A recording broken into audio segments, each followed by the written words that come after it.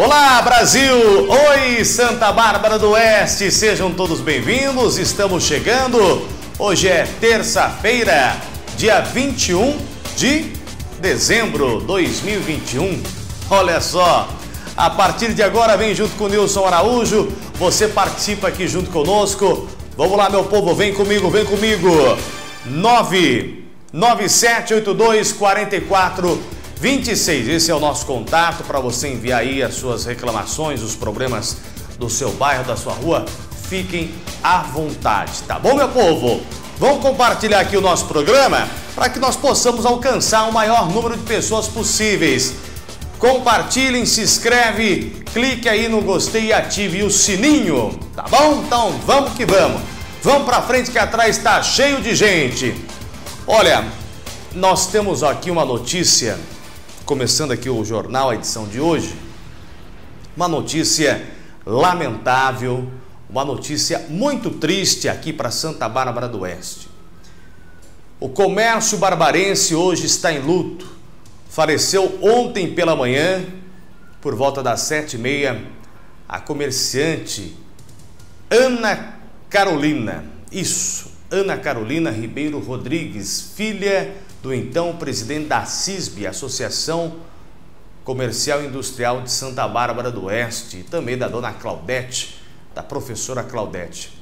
Tá aí a, a Ana que aparece nas imagens, ela trabalhava na loja da família, é, trabalhava antigamente, né? Tinha aquela loja O Casarão, né? Bem na esquina ali da rua Santa Bárbara. Depois agora é, tinha a loja é, Carolina Calçados, Tiana Calçados, aqui no centro da cidade. E segundo informações, ela passou mal ontem pela manhã. Ela fazia tratamento, né, é, para convulsões, ela sofria, né, de, de ataques piléticos, mas as crises é, tinham cessado. Fazia tempo, né, que não dava já essa, essas, essas crises nela. E pela manhã quando o seu pai foi até o seu quarto, ela já estava sem os sinais vitais. E o velório ocorreu hoje pela manhã, desde ontem, na verdade, ontem à tarde, segunda-feira, às 18 horas, e deu continuidade hoje, né, das 6 até as 9 da manhã, e o sepultamento foi direcionado para o cemitério Campo da Ressurreição. Os meus sentimentos, ao Tiago, a dona Claudete, né, o seu João Batista, os meus sentimentos. Comércio hoje triste, né? Porque ela era uma pessoa muito alegre, né? muito para frente, né? gostava de fazer suas brincadeiras, ela que supervisionava, ela que administrava lá a loja Tiana Calçados e nós, é, lamentavelmente, também estamos aqui. É, transmitindo as nossas condolências para todos os amigos, é, funcionários, os colaboradores, as meninas que trabalhavam com ela e que também já trabalhou. Eu encontrei inclusive pessoas que é, me falaram assim, falaram para mim assim, é, eu trabalhei mais de 13 anos com o João. Um abraço para o Osmar. Alô, Osmar! O Osmar que é, é gerente aqui da, de uma loja de calçados aqui também hoje, né, da Castor, aqui no centro de Santa Bárbara do Oeste, muito chocado, né, por tudo isso que, que aconteceu, ainda mais nesta semana derradeira do Natal, né? Que Deus possa confortar aí os vossos corações, tá bom? Olha, vamos lá para a área da polícia. Nós temos aqui a informação: o motorista Luciano de Souza Maciel, de 39 anos, morador de Ribeirão Preto. Ele morreu num acidente envolvendo duas carretas. Foi na rodovia dos Bandeirantes, aqui em Santa Bárbara do Oeste. Ocorreu ontem, equipe do bombeiro, dos bombeiros estiveram presentes. Olha só como que ficou a cabine do, do caminhão, né? Foi por volta das 10 e meia da noite no KM 133, na pista sentido interior. E o motorista conduzia uma Scania R440 de Ribeirão Preto quando bateu na traseira de um Volvo FH de São Manuel.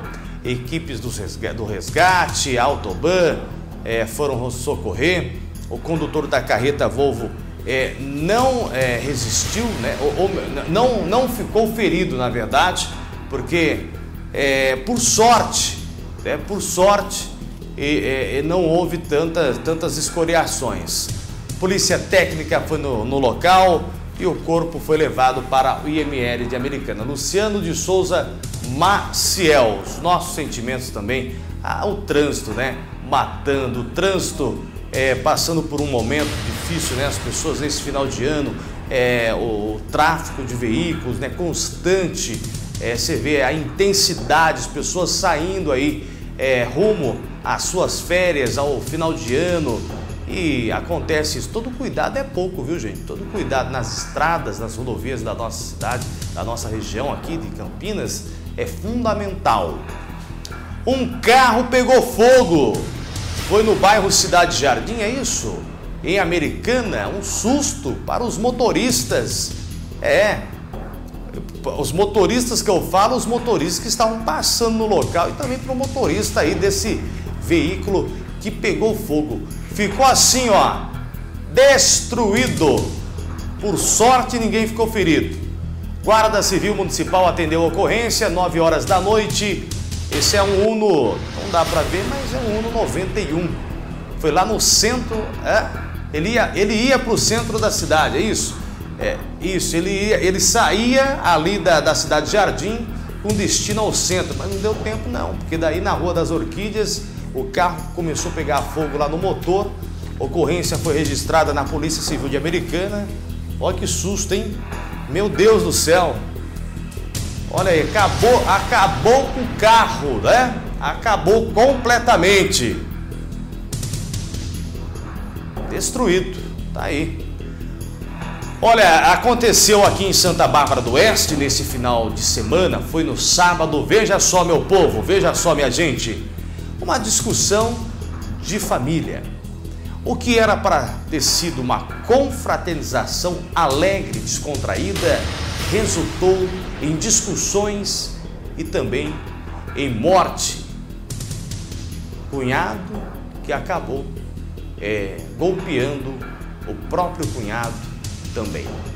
Alessandro Santana de Oliveira, de 21 anos, morreu esfaqueado pelo cunhado durante uma briga na Rua do Irídio, no bairro Molon, aqui em Santa Bárbara do Oeste.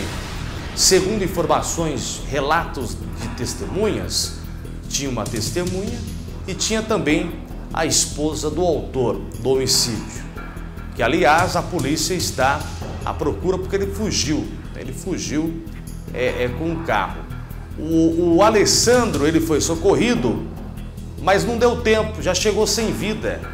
Ele teve as, as facadas foram atingiram a barriga dele a mão esquerda, foi socorrido até o pronto-socorro doutor Afonso Ramos, mas não resistiu aos ferimentos. Então tá aí, é, é mais esse crime bárbaro por volta das 9 horas da noite.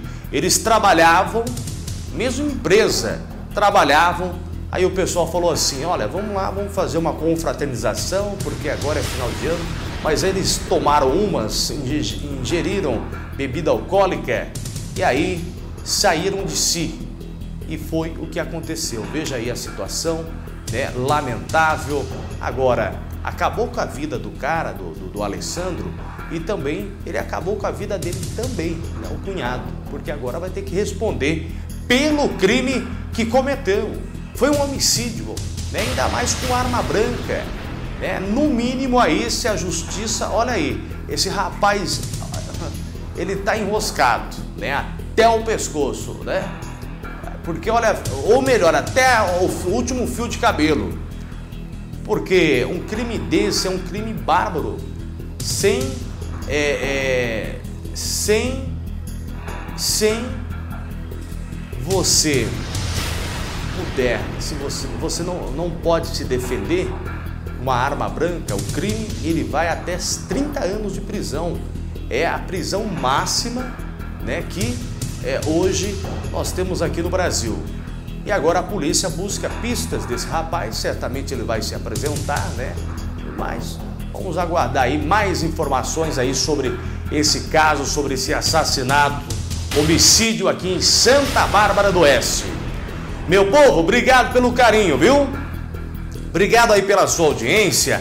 Amanhã, quarta-feira, estaremos de volta aqui no Jornal da TV SB Notícias. Olha, vai ter novidade agora, né? Duas e meia da tarde, é isso? Duas e meia da tarde. E parece que vai ter aí um evento da, no, na sede do Corpo de Bombeiros aqui de Santa Bárbara do Oeste. Parece que o Corpo de Bombeiros vai ter uma nova viatura agora, né? Uma viatura é, que está vindo para cá para auxiliar aí o Corpo de Bombeiros, tá bom? Então tá aí, conte conosco, é o nosso Jornal da TV SBN, crescendo a cada dia. Se você tiver uma reclamação, uma denúncia, entre em contato conosco, nosso WhatsApp está aqui na sua tela. Obrigado pelo carinho. Mexeu com você, mexeu comigo. Tchau, meu povo!